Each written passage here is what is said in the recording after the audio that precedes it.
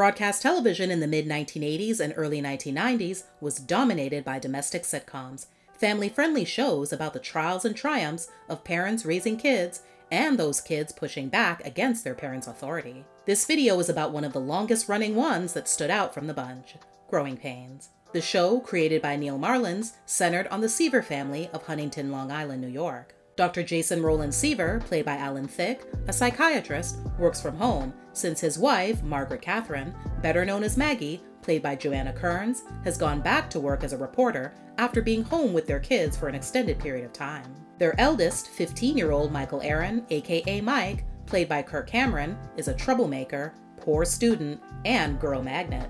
Middle child, 14 year old Caroline Ann, aka Carol, played by Tracey Gold, is a neurotic overachiever. And youngest, for a time, 8 year old Benjamin Hubert Horatio Humphrey, aka Ben, played by Jeremy Miller, is quite a rascal and follows his older brother as his role model.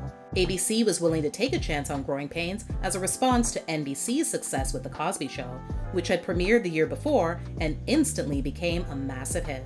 The theme song, written by John Bettis and Steve Dorff, called As Long as We Got Each Other, was originally performed by 60s and 70s country pop hitmaker BJ Thomas. As long as we got each other, we got the world spinning right Alan was an unlikely and risky choice to play the head of the Seaver family. He'd only acted on screen a few times, but in his native Canada, The Alan Thicke Show was so popular that he was recruited to reformat it as Thicke of the Night, a late night program to face off against NBC's The Tonight Show starring Johnny Carson.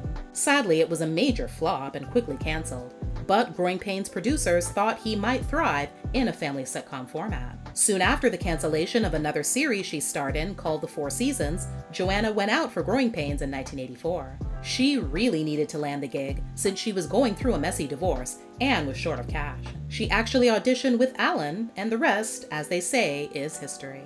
Jeremy had started acting when he was about five and did a few guest spots on a bunch of TV shows, including Charles in Charge and Diff'rent Strokes. He landed the role of Ben by telling jokes and just being himself, beating out hundreds of other kids. Tracey, a seasoned child star with more than 20 credits to her name at the time, auditioned for the role of Carol, but wasn't initially cast. Elizabeth Ward was chosen for the pilot instead. Test audiences didn't favor her though, so they asked Tracey to come back and audition again, this time with Kirk, and she got the job. Kirk almost didn't get the part of Mike either. Being a typical teenager, he wanted to hang out with his friends and play basketball, not go to the audition. When he did show up, he was late. They let him in anyway, and Kirk won them over. A fourth child, Christine Ellen, aka Chrissy, is born at the beginning of season 4. She was played in her newborn slash infant stage by two uncredited sets of twin sisters, who remained in the role until that season ended. By season 5, she was played in her toddler stage by alternating twins Kirsten and Kelsey Dohring. In season 6 and 7, Chrissy's age was advanced to 5 years old and then played by Ashley Johnson. By 1991, Growing Pains was entering its seventh season and running on fumes. Viewers were abandoning the series too, so producers attempted to save the show by bringing in some new blood. At the start of that season, the Seavers unofficially adopted a wayward and abandoned teenager named Luke Brower, portrayed by an up and coming young actor named Leonardo DiCaprio. Unfortunately, the show didn't bounce back and ratings continued to plummet, causing Leo to hightail it out of there before the end of the season, which would turn out to be the series' last. Although quite corny at times, Growing Pains did offer some very realistic elements of family life, like how Mike teased Carol about her weight. According to E! True Hollywood Story, those jabs were possibly a little too realistic, because Tracey couldn't help but internalize some of those cruel jokes. During her time on the series, she secretly suffered from anorexia. Her weight dropped from 133 pounds to around a dangerous low of 80. She did eventually seek treatment, which caused her to miss filming several of the last season's episodes. When she did return to shoot the series finale, she knew she still had a way to go on her journey to recovery. In the final scene, the Seavers eat pizza together, and Tracey said that she just couldn't do it, instead, faking like she did. Kirk Cameron, without a doubt, became the unofficial star of the show and one of the most popular teen idols of the 80s. So, since he was the reason many of Growing Pains' younger viewers watched, that influence gave him plenty of pull with both producers and the network. According to E! True Hollywood Story, he was left feeling empty by sitcom fame and fortune, and he found purpose when he fully committed to his Christian faith. While this may have been a great thing for him, it wasn't for his castmates. Kirk distanced himself from everyone, which led to a lot of hurt feelings. He didn't even invite them to his wedding with his Growing Pains co star, Chelsea Noble, who played Mike's girlfriend, Kate McDonnell. Then he took things a step further when he tried to alter the course of the show. He began to insist that plotlines be edited to remove anything he thought was too adult or inappropriate. Due to his complaints to the brass at ABC about several of the executive producers being pornographers, they got fed up and quit. Rumor has it that he even put his two cents into casting decisions. Growing Pains featured many recurring characters, one of which was nanny Julie Costello, played by Julie McCullough. She came on board in 1989 and appeared in several episodes until she was fired the following year. According to Us Weekly, Kirk grew incensed when he discovered that the actress, whose character would go on to date and become engaged to Mike, had once appeared nude in Playboy. Julie believes it was Kirk's attitude that got her fired, and the fictional wedding called off.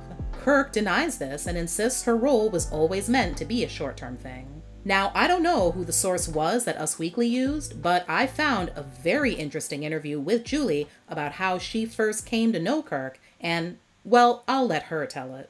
I knew Kirk before I even did the show. And so they wound up casting me, and then that's how I became the nanny and his girlfriend on the show. And I met him because a couple years earlier, I had been a Playboy Playmate. And we used to sign autographs at the car show circuit. And I was in, I think it was. I think it was Philadelphia. I can't remember now. It's been so long, but it was at a car show and Chubby Checker was playing. I just remember that because he was there. And I was there signing autographs as a Playboy Bunny.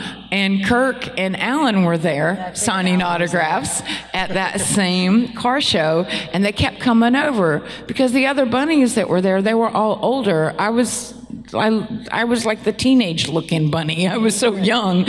And so Kirk and his little friend coming over wanting autographs from me. And then, then they asked me, you know, hey, you're to come see Chubby Checker later?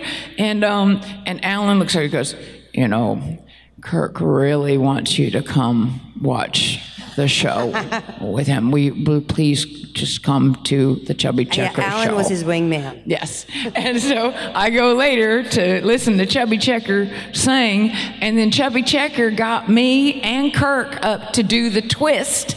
And there's Oh, I've got so snapshots of Kirk and I doing the twist with Chubby Checker singing at that car show.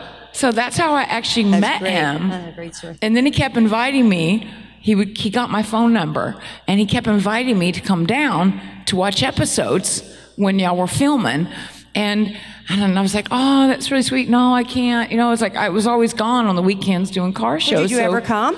No, No, you didn't. I never did because I was like, I knew he liked me, and I was like, you know, he was like, you know, I was barely older than him, but still, he was younger than me, and I was like, I'm not gonna date him. He's he's I'm I'm he's a little bit he's just a few years younger Yeah. than me, but still, and um, so that was that, and then flash forward, next thing you know. When I walked in the room and he saw me at that audition, he, he lit up like a freaking Christmas tree. He was like, ah, ah, ah. I was like, I know. And that's how that happened. So, some questions still need to be answered. Did Kirk really have a hand in Julie getting kicked off the show? Or is he right and she was always going to get the axe since her character was never meant to be permanent? Probably the most well known and loved recurring character was Richard Milhouse DeBone, better known as Boner, played by Andrew Koenig. Boner, who was Mike's best friend, was featured in seasons 1 through 4 and exited the show when he left to join the United States Marine Corps. On February 14, 2010, Andrew was last seen leaving the apartment of a friend he'd been visiting in Vancouver, British Columbia. He was reported missing four days later after his father in Los Angeles received a despondent letter from him. One week after that, Andrew's body was found in a park in Vancouver. At a news conference, his father confirmed that his son had taken his own life. He was 41 years old. In the end, Growing Pains didn't enjoy a high profile, much discussed big finale episode like other series did. Instead, it finished as the 75th most watched show on broadcast TV, a far cry from its time as a top 5 show. Switching gears from that unfortunate detail, here are 10 fun facts about Growing Pains. A future major TV and movie star was another finalist for the role of Jason Seaver. His name is Bruce Willis. The main reason the chemistry between Alan and Joanna was so palpable was because they were actually feeling each other for real behind the scenes. They liked each other so much that they even considered dating. Ultimately, they decided not to mix business with pleasure for the sake of the show. Jeremy hated leaving his TV family when the first few seasons wrapped. Joanna told People magazine that when the season was over, he'd cry. Jeremy also wasn't too happy about Leonardo DiCaprio coming on board. It bothered him that the network felt it was necessary to add a new character, rather than focus on his long term character, who had grown up and was now the same age. When Leo joined the show, his pal, Tobey Maguire, ended up spending a lot of time on set hanging out with him. The first time Kirk met his future wife wasn't when she got the role on the show. It was actually on the set of Full House. He was there to visit his sister, Candace Cameron, who played DJ Tanner, while she was there visiting a friend. Kirk and Tracey played brother and sister in a McDonald's commercial three years before they played brother and sister on Growing Pains. Maura Tierney lost out on her opportunity to be a part of the cast after producers unceremoniously dismissed her. In the late 80s, she did secure a role, which would have been one of her first acting jobs, but she was fired after only two days of rehearsals. She thinks the reason was either a bad attitude or an inability to follow scene partner Kirk Cameron's cues. The series was huge in China. In the 80s, it was only one of two American shows allowed to air there. Growing Pains spawned the spin off series Just the Ten of Us, starring stand up comedian Bill Kirchenbauer as Coach Graham Lubbock, the same character he played on Growing Pains. Now, this next fact is absolutely not fun. In fact, it's horrific making it inappropriate to include in the list, but it is worth mentioning. Executive producer Stephen Marshall was arrested in 2009 on charges of distribution and possession of child pornography. He ultimately pled guilty to distribution, and the possession charge was dropped. Authorities said he engaged in sending and receiving child pornography and participated in online chats detailing child abduction, bondage, rapes, and murder.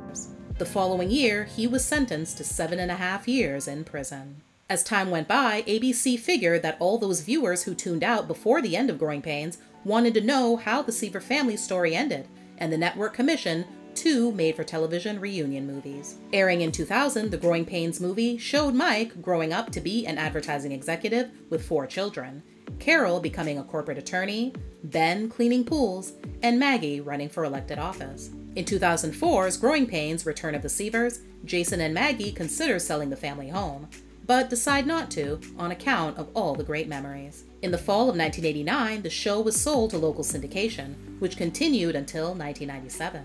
In 2006, Warner Home Video released the first season on DVD in the US and Canada. The following year, it was released across Latin America. The rest of the seasons were released via the Warner Archive collection over the next 10 years, in North America only as manufactured on demand titles available exclusively through Warner's online store and Amazon.com. The complete series on DVD was released just this last winter in February 2023. Growing Pains is currently available on a variety of streaming services, including iTunes and Amazon.